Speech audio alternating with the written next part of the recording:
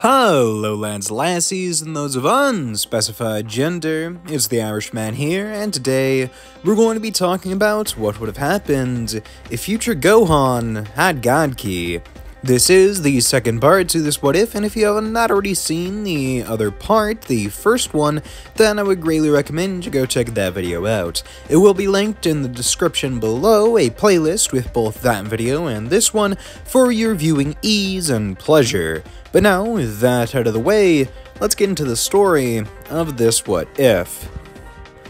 Like I said in the last part, sadly they cannot bring back their friends just yet, because even though Piccolo is still alive and they have the Earth's Dragon Balls, most of the Z Fighters have already been revived by the Earth's Dragon Balls, at least once. Well, at least once by the Earth's Dragon Balls. Some of them were brought back by Namek's, but Namek doesn't have the same restriction that Earth's Dragon Balls do. So if they want to bring their friends back, it's just a simple road trip to a far-off planet. The only problem is they don't know where New Namek is. But Piccolo or Kami, I can't remember if I fused them in the last part, could definitely get in contact with King Kai to be able to find out where New Namek is. Then it's just as easy as making a ship and going there. And thinking about it, I wouldn't say that we still had the Dragon Balls if I fused Piccolo and Kami in the last part, so Kami can definitely get in contact with King Kai and find out the coordinates of New Namek. Then, being able to fly there with the help of Bulma and Dr. Briefs, who could definitely make a spaceship to get them there. It would be pretty easy, seeing as they already rebuilt a ship that was able to get them to the old Namek. And even though it might take about a month at most, that is still no time in comparison to the original future timeline, wherein they had no hope of getting back their friends. Right now, it's just a month, again at max. After arriving on Namek, they would be confronted by Elder Mori, the current guardian of New Namek. Seeing as Guru still died in this timeline, Gohan having God Ki, especially awakening to it in his future counterpart, wouldn't change anything with Guru. So he's still dead, but Mori is more than able to help them in getting the Namekian Dragon Balls and wishing back all of their friends. The only difference is it just takes one wish here, since Mori, as we learned in the Boo saga, had upgraded the Dragon Balls on Namek to be able to bring back multiple people, realizing that the Z Fighters would most likely need their aid again. Then, with a single wish, all of their friends are brought back, but they do still have two wishes. So, Gohan, ever eager to reconnect with his father, would try and wish back his dear old dad. However, doesn't work, since Goku died of natural causes, and even Porunga can't bring somebody back in that circumstance. So instead, Gohan just chooses to use his second wish to understand the power that he has, the dormant energy that he never really got a good understanding of. And with Porunga's help, especially having access to the Namekian Book of Legends, they would find out about the Super Saiyan God, as well as God Ki. Now, Porunga doesn't have a ton of information on God Ki itself, but with the Super Saiyan God, he does know about the ritual and Yamoshi, which doesn't really help Gohan that much since he never partook in a ritual, seeing as they didn't even know that there were five kind-hearted Saiyans or Saiyans in general when Gohan was born, and, well, conceived, so there would be no way for him to have gotten the ritual done on him, and it means he has some mysterious circumstance for getting God Ki. We'll chalk this up to some sort of a genetic mutation, which is also probably the conclusion that Gohan would come to in this story. This is at least better than in the original, where Gohan had no real way to go off of on where his power came from. He was just different than all of the other Saiyans, most likely because he was a hybrid, but even then, Goten and Trunks didn't show the same potential, even though they were able to get Super Saiyan early, but I'm going off track here. Either way, they don't really have a need for a third wish. At most, I can see them wishing to rebuild the Earth to where it was, before the androids attacked. That way, the humans don't have to do all that on their own. And with all of that done, they would then head home. But Kami would talk to Piccolo telepathically, telling him to get another Namekian to come home with them, one from the Dragon Clan. That way they can make new Dragon Balls there on Earth. Piccolo would wonder why, thinking there might be some sort of a problem with Kami's, but it doesn't really matter. Either way, he would get Dende to come along with them, and then they would all head home to Earth. Kami would tell him that after seeing Piccolo defend the Earth on multiple occasions, and realizing that he probably is too old to continue being Guardian any longer, Kami wishes to fuse into Piccolo, not only so that Piccolo and him can be whole once more, but also because he realizes there's not much he can do to defend the Earth past just providing Dragon Balls, which Dende can do better than him at this point. So Kami wants to defend the Earth in his own way, providing power for Piccolo, allowing for him to be strong enough to properly defend the Earth with Gohan, of course, but Piccolo would now be a bit stronger and could actually contend with the likes of Super Saiyan God Gohan. Well, at least he hopes. Of course, Piccolo wouldn't be as strong as the godly version of the Half Saiyan here, but he is still a lot closer than he would have been without Kami's help. After the two fuse, Piccolo is different. He isn't the same Namekian he was before fusing, not only because he's stronger, but also because his mental state is changed. This provides Piccolo with a newfound desire to protect the Earth and give his life to do so if needed, rather than just choosing to do so because he wanted to. Now it's an obligation. And even before, Piccolo didn't want to protect the Earth, it was more so everybody around him was doing that and he didn't want Gohan to get hurt. Now he actually wants to defend the Earth because it's his home, as well as all of the people on it. He recognizes the importance of life, as well as wanting to defend the planet with everything he can. But really, it doesn't change too much in the grand scheme of things. Gohan was already going to give up his life if need be to protect the Earth, and in Super Saiyan God, even with the boost from Kami, Piccolo is nowhere near Gohan's max strength. However, after a couple years training with Gohan, and Gohan actually would keep up his training here, realizing what might happen if he doesn't, Piccolo would decide to find alternative routes to power, because the gap between him and his student just keeps getting wider and wider by the day. Even though Piccolo is still definitely getting stronger from this training, he feels stagnant, like he's staying in the same place, whereas he is still getting stronger. Gohan keeps getting far, far more powerful by the day. Even if Piccolo is doing the same, it's a completely different extent with Gohan.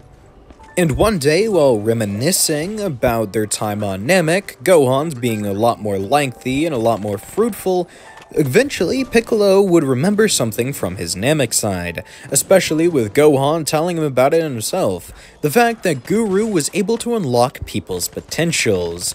And with that in mind, Piccolo would wonder if he could get that same sort of boost. So he would go up and ask Dende if he could unlock his potential. However, he can't. Dende just doesn't have that ability, even if Elder Mori might be able to. But Piccolo doesn't have time to go to New Namek again, it just would be a waste of time and resources. So instead, he decides to get the Dragon Balls, summoning Shenron and asking him to unlock his potential, just like how Elder Guru did for Krillin and Gohan. And this would be extremely effective, giving him his very own transformation, kind of like the ultimate form for Gohan in the original. But even with this incredible new transformation, Piccolo is still behind Gohan's max. Having Super Saiyan God as well as incredible hybrid potential, Gohan is an absolute beast, no pun intended. So even though Piccolo is getting stronger and definitely a lot closer to closing that gap than ever before, Gohan does still have a lead, except now, Piccolo feels like he might be able to catch up for the first time in forever. Although it's safe to say that any threat that appears on Earth would be taken down with relative ease. I mean, Boo would be no threat to Gohan alone, let alone Piccolo stepping in to lend aid. Dabura would be wiped off the face of the earth, and the other minions of Babidi would be no threat, not that they were in the original. And Boo himself, if he were to be awakened, would still be taken out with relative ease. Piccolo would begin training under the Supreme Kai since Gohan's too busy, and Piccolo does still want to close that gap. So, after training with his Z-Sword for a bit, he would get a bit stronger, but Really, he's far past the level that the Z-Sword could bring him to.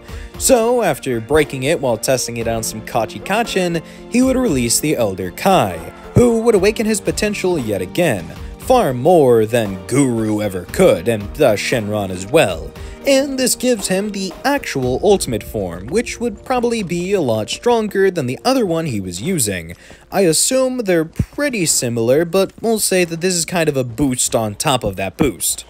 Sadly, this would prevent Piccolo from ever getting the orange form only in visual effects, because the ultimate form would simply absorb the orange form into the ultimate form, meaning that although he still gets the power, he doesn't get any of the visual changes, which is probably a good thing. I assume that the orange form would give some sort of lumbering effect to his movements, not necessarily making him slower, just a bit more bulky, which isn't really good in a fight. Now, one thing to note is that Beerus never woke up in the future timeline, meaning that we have no version of Super to base this story off of, because, well, Beerus doesn't wake up, so Super never happens. Battle of Gods doesn't, and then Resurrection F doesn't happen as a result of that. Gohan and Piccolo would be much more keen on defending the planet here. So, when some weird alien powers arrive on the Earth and gather the Dragon Balls summoning Shenron, they would arrive on the scene right away, killing all of Frieza's men and redisposing of Frieza. It's actually probably a good thing that they were able to kill off Frieza after he was revived by Shenron. That way, it's impossible for him to be brought back by Shenron again. But with a second wish at their disposal, and knowing that if the Frieza Force was able to track down Earth, then they might be able to find New Namek. So they would use Shenron's powers to make sure that Porunga can't revive Frieza either. Seeing as Dende is stronger than Mori, he would be able to do this. When Champa goes collecting the Super Dragon Balls, he not only wouldn't want to make a wish that affects the Earth, but also wouldn't be able to find the seventh because it was the hidden planet, well, it was hidden as the nameless planet that Champa A didn't care about or B didn't even know it existed.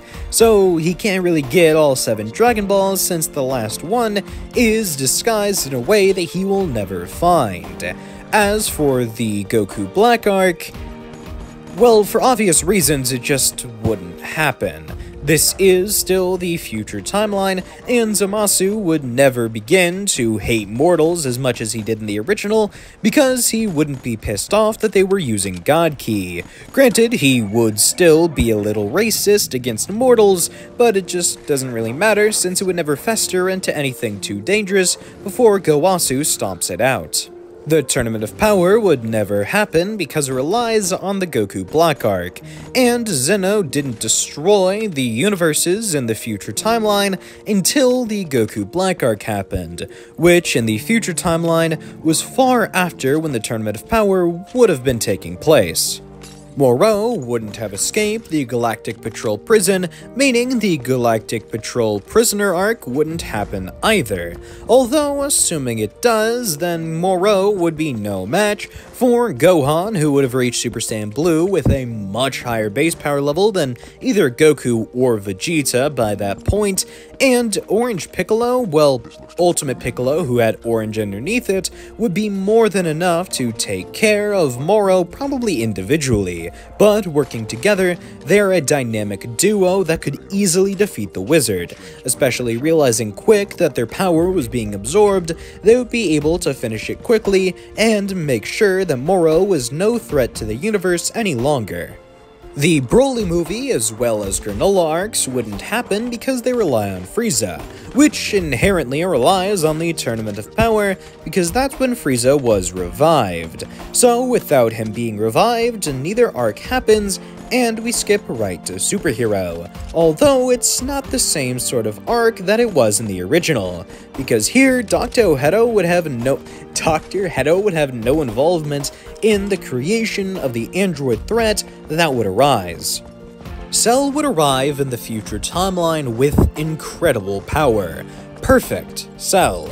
Not imperfect Cell, not semi-perfect Cell, not Cell Max or any of the Gammas it would be Perfect Cell, who would have God Ki infused within him, as well as the data of Orange Piccolo, of Super Saiyan Blue Gohan. He would be incredibly powerful, stronger than anything the main Dragon Ball timeline has seen before, with the obvious exception of the gods. Although, with the powers of Gohan and Piccolo, who each would have been training for countless years with God Ki at their disposal, well, at least Gohan has God Ki at his disposal, I wouldn't be surprised if this version of Cell was even stronger than Beerus. And seeing as Gohan is the only one who could sense this version of Cell's power, he would immediately go out to fight against the genetic monster.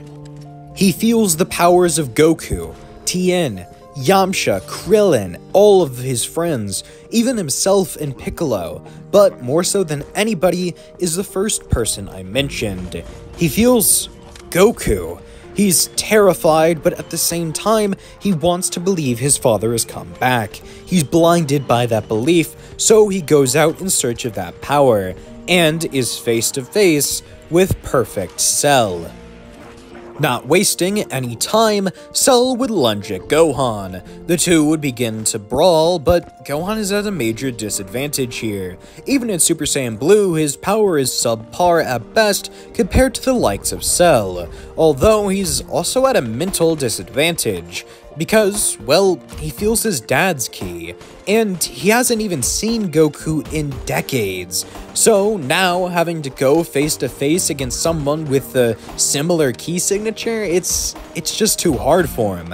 Mentally, he's at a loss, and power-wise, for the first time in decades, yet again, he's at a disadvantage. He's never actually been put this far on the ropes ever since he was a little kid.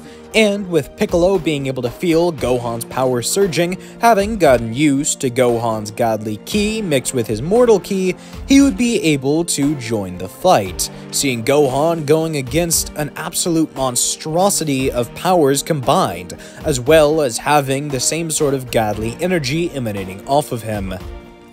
But even though the two of them working together would be enough to push Cell, it still isn't enough because Gohan has these mental limiters. He feels like he's fighting against his father, training with him yet again. He gets a flood of memories, remembering when he was just a little kid and his dad hadn't died of the heart virus. It's horrible to think about, but Gohan just wouldn't be able to cope with the idea of fighting against his dad. He hasn't seen him in decades. So Piccolo would begin to try and psych him out of it, but nothing he says works. He isn't isn't able to convince Gohan to get past this, so he begins to lower his power ever so slightly, that way Cell can land a near fatal blow. Gohan would believe that Piccolo was really just killed, and he doesn't even notice that Piccolo had to slightly lower his power. If anything, that could just simply be a loss of stamina, resulting in a slight loss in strength. Either way, Cell is still far beyond them, so it makes sense he could kill Piccolo. And seeing this happen right in front of him, he begins to lose his mind. His sanity begins to shatter as his godly power mixes with his mortal ki perfectly. His rage finally explodes out, and his limiters are gone all of his distant trauma, all of his power, all of his hope and dreams and desires to beat Cell combine into one giant aura. As his hair begins to spike up past anything Super Saiyan could accomplish, and it flushes white, as suddenly Gohan achieves his beast state. Remembering Goku, remembering Piccolo, remembering both of his father figures and the people that allowed him to get to these heights, he would use one single attack to finish Cell off, a special beam Kamehameha. And with this one blast, as well as a couple hits and kicks just to lower Cell down, he would completely eviscerate the monster. Atom by atom, Cell couldn't regenerate. He was finally gone, and Piccolo would show that he didn't actually die. He just needed Gohan to think that, that way he could get past what was limiting him mentally. But now, with Gohan's anger finally mastered, with his God Ki perfected to its fullest extent, and with the Beast form in conjunction with his God Ki making him stronger than any threat that could ever arise, this is where we'll be ending the story for today. I could definitely go with a GT aspect, but seeing as we've kind of covered Super fully, I don't think there's any real reason to. So with all of that done, I hope you have an excellent day. This story was fun to cover, it is relatively short, but that tends to happen with the future timeline. So I hope you enjoyed watching, and bye!